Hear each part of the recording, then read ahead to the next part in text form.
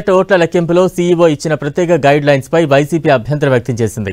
ఎన్నికల సంఘాన్ని కలిసిన వైసీపీ నేతలు తమ అభ్యంతరాన్ని తెలిపారు. ఏ రాష్ట్రంలో లేని వెసులుబాటు ఏపీలోనే ఇచ్చారన్నారు వైసీపీ నేత పేర్ని నాని. ఎక్కడా లేని సర్క్యులర్ ఎందుకు ఇచ్చారని ప్రశ్నించారు. ఈసీ తమ నిర్ణయంపై పునరాలోచించే కౌంటింగ్ ప్రశాంతంగా జరిగేలా చూడాలన్నారు పేర్ని నాని.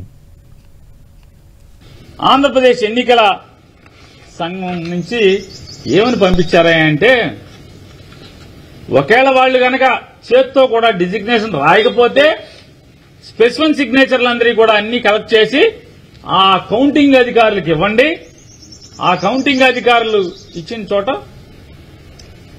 ఒకవేళ వాళ్ళు స్టాంప్ వేయకపోయినా చేత్తో రాయకపోయినా ఆ స్పెసిఫిక్ సిగ్నేచర్ చెక్ చేసుకోవచ్చు అని చెప్పి నేను ఇచ్చాను. దీని మీద మా అభ్యంతరాన్ని వ్యక్తం చేశాం. ఎందుకంటే ఆ స్పెసిఫిక్ సిగ్నేచర్కి అంటే ఒకటి ముందు భారతదేశంలో ఏ రాష్ట్రంలో కూడా ఈ వెసులుబాటు లేనటువంటి ఇంటర్ప్రిటేషన్ ఈ రాష్ట్రంలో ఎందుకు ఇచ్చారు?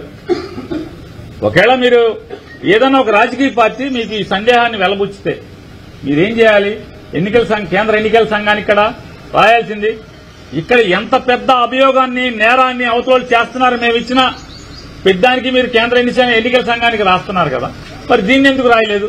రాయకుండా మిగతా రాష్ట్రాల్లో లేనటువంటి వెసులుబాటు ఈ రాష్ట్రంలోనే ఎందుకు ఇచ్చారనేది మా అభ్యంతరాన్ని వ్యక్తం చేస్తూ మీరు పునరాలోచించాలి.